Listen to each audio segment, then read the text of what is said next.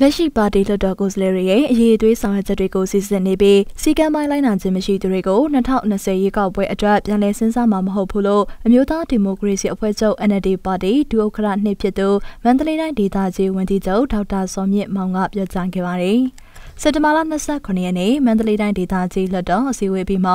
NLD ပါတီဒုဥက္ကဋ္ဌနှစ်ဖြစ်သူမန္တလေးတိုင်းဒေသကြီးဝန်ကြီးချုပ်ဒေါက်တာစောမြင့်မောင်ကမီဒီယာတွေကိုပြောကြားခဲ့တာဖြစ်ပါတယ်။ 전면에는 아니고 전반이 연예인의 인식인데 거치에 관해서 정부가 직원들을 연단이 법원이 연예인을 이야기합니다. 여러분이 그걸 공부하고 이제 유명한 사고를 저희가 저희가 서울에 나가요. 나이로 나이들이 사람이 좀 유관이라는 거. 태민이 이제 유관이 되시지만 그런 걸 ခဲ့တာကကိုယ့်ရဲ့ကျိုးကအားထုတ်မှုတွေမပါဘူးလို့ပြောတာ။ဒါပေမဲ့ဒီလိုတွေကတော့အားလုံးပေါင်းတဲ့ကိုယ်ပေါ်ကိုကြောင်းနေတဲ့ပါတီကိုကြည့်လို့ရတယ်။ဒါကဒီလိုလည်းတည်နေရတာဒီဘက်ဘက်ကြီးကိုကြွေးတာ။ဒီလိုမကြိုက်တာရှိလို့ရှိတယ်။ဒါကတော့ပြန်ကြည့်တယ်။ဒါလေးချက်ပါအခုတော့ဒီလိုရှိ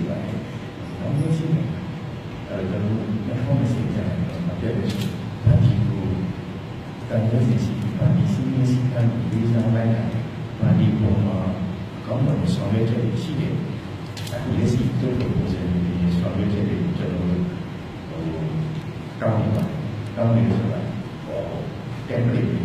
ပုံစံစားတယ်ကျွန်တော်နားနေတယ်ဒီလိုတော့ရှိတယ်ဘာဒီလိုတော့ရှိဒီလိုကတော့ကိုယ့်ရဲ့ဆရာဝန်ကြီးဆောင်ရွက်ချက်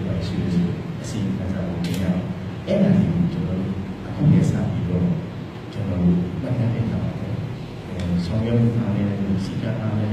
လက်ခံမှာဆက်ပါကျွန်တော်ဆက်ကြပါ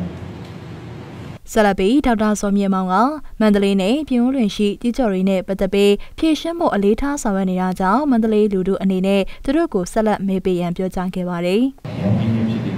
နေရာရှာရင်းများ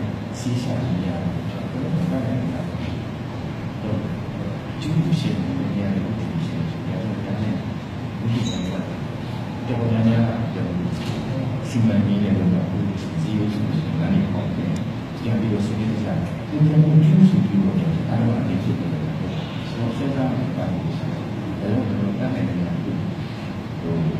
ကျက်ပေါ်ချိုးပြီးရာယူစီဆိုစီယိုပြီးတော့အဲ့ဒီဆောင်တာရှိ။ကျေရည်ဆိုတာရှိ။တော့ဒီစာရင်းတွေပြန်ကျူးပြီးတော့ဆက်နေရာပြီးတော့သိချင်တယ်။ဒါနဲ့ပြီးပြီးစီဥပဒေဒီဒီဒီ လိုက်တာဒီလိုမျိုးချမှာရှိတယ်။ဒီစင်းရတယ်အများကြီးဟိုပြောရအောင်ဆိုရင်ဘယ်လိုလိုပို့ဆိုတာပါဆိုတော့ကျွန်တော်ဆက်လို့ပြောတယ်။ဆိုတော့နိုင်မျိုးချိန်ကလည်းကျွန်တော်ဆက်လို့မတ်စတာပဲအဲ့မတ်စတာပဲဒီလိုပြန်ချူပြီးသူ့ကိုစီရင်ရမှာကျွန်တော်ဒီမဲ့လေးကိုဆိုဆက်ပြီးတော့နော်ဒီကတော့ အဲ့ဒီကျွန်တော်လည်းကျွန်တော်လည်းကျွန်တော်တို့ကပြရဒါကြောင့်ကျွန်တော်ခံတယ်ပြည်တာအဲ့တော့အဲ့ဒီကျူတွေကိုနေရာပြီးဒီမျိုးမှာဆိုလို့ရှိရင်မန္တလေးမှာစတာလည်းအီးကြီးဆိုလို့ရှိရင်ဒီလိုပါအဲ့တော့မန္တလေးကတို့ကျွန်တော်ဆက်ပြီး 2018ဈားဖြတ်ရွေးကောက်ပွဲကိုနိုဝင်ဘာလ3ရက်နေ့မှာကျင်းပမှာဖြစ်ပြီးပြည်သူ့လွှတ်တော်၄နေရာအမျိုးသားလွှတ်တော်1နေရာတိုင်းဒေသကြီးနဲ့ပြည်နယ်လွှတ်တော်မှာ9နေရာရှမ်းတိုင်းရင်းသားရေးရာဝန်ကြီး1နေရာစုစုပေါင်း73နေရာအတွက်ရှင်ပြိုင်ရမှာပဲဖြစ်ပါတယ်။